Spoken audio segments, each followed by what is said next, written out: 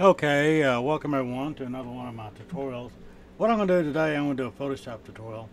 And I was asked to do a short, uh, small favor by a friend on Google+. Plus. he had some photos. He wanted them to range in uh, what we call a 4 up in printers or a quad. And uh, he emailed me the four photos and they had different sizes. So I had to uh, solve this problem and, uh, and make each photo the same size and fit them in a nice neat quad. So anyway, we'll get started right off. I'll show you how I went about this. Okay, I've got I downloaded the attachments in a Google Mail, and I've got that on my desktop. And we're going to use a function in uh, Photoshop. It's under the scripts. It's called Load Files in the Stack. And then I'm going to browse for this folder, and it's these four images here. Control A, uh, click in there. Control A, that will select them all, and then it will load them into a stack. And you will see let it finish here.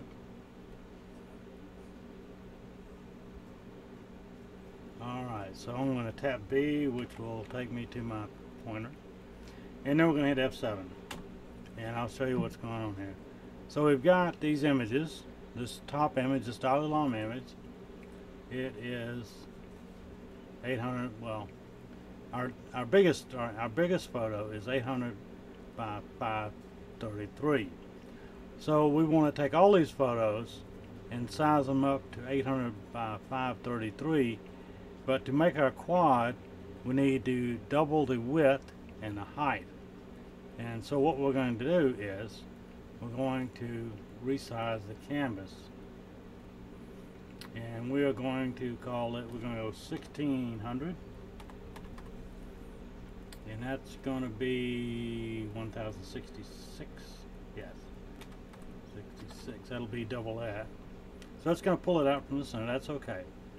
So anyway so now we got room to put all of these on the same uh, same document or same canvas here. We're going to move this first one up here. And you might want to have on snap to document bounds. And let's see. Uh, well snap to layers too. So we're going to move this first photo up here. And it's going to go in the corner. Now there wasn't any particular order stated for the photographs.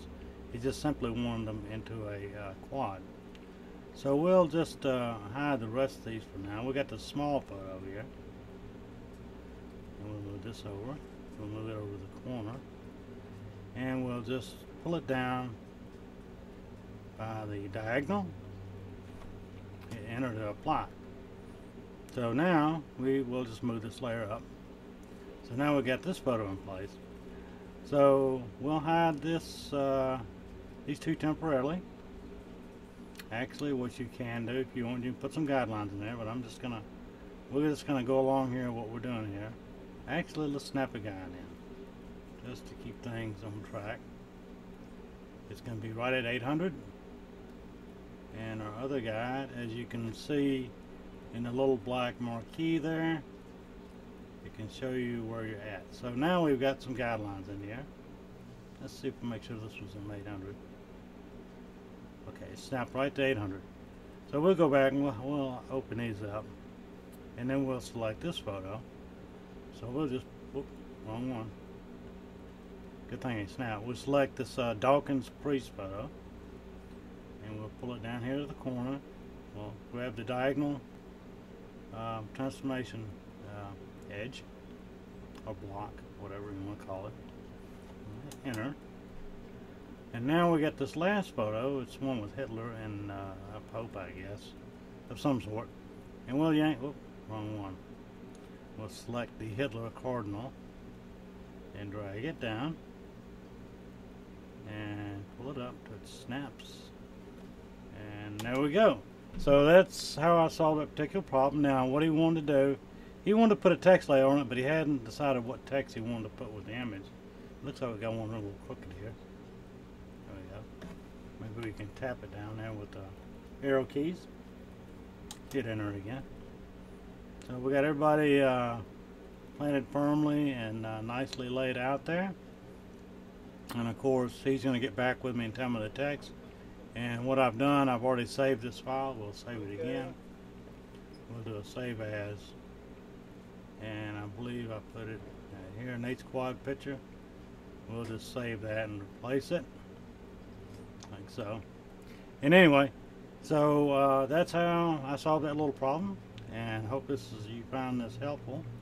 Of course, uh, what I did, I did follow up and save it for web, but you understand, I saved it as a PNG and uh, emailed it back to him, and he's going to get back with, back with me with the text on it. So this has just been a short, little helpful video, video how I solved a particular problem for maybe a potential client. So thanks for watching my videos, and I'm out of here.